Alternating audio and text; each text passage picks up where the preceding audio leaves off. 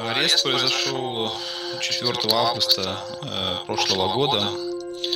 Э, я об этом узнал э, по телефону вот, э, членов нашей организации. Мне позвонили, сообщили о том, что Олесь был задержан людьми в штатском. Belarusian authorities have refused to register Human Rights Center Vyazna since 2003. As a result, the organisation is barred from opening a bank account in Belarus. So it had no choice but to open bank accounts in neighbouring countries to fund its human rights work.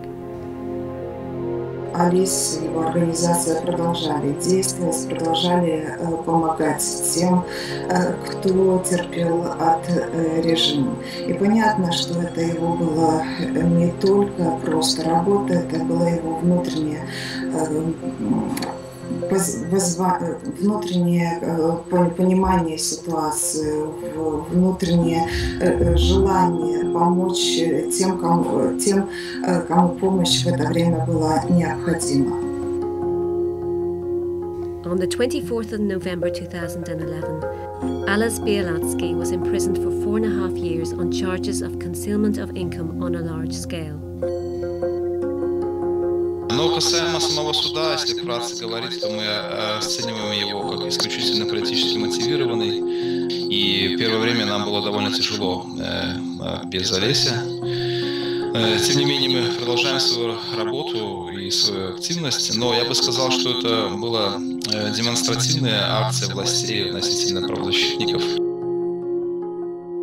Да, тут год прошел, можно о чем-то говорить, какие-то выводы делать по поводу прожитого и пережитого э, за этот год. Э, в общем-то, так получилось, что в результате ареста, в результате вынесенного приговора семья была разбросана.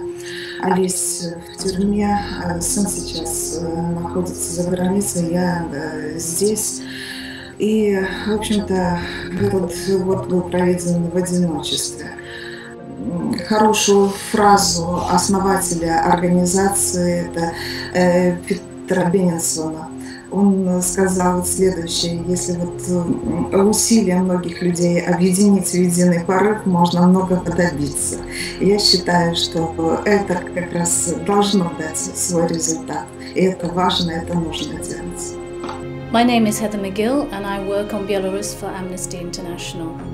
We believe that Ales Bialatsky is a prisoner of conscience, that he has been sentenced to four and a half years for carrying out his human rights activities, for attempting to finance his human rights organisation in incredibly difficult circumstances.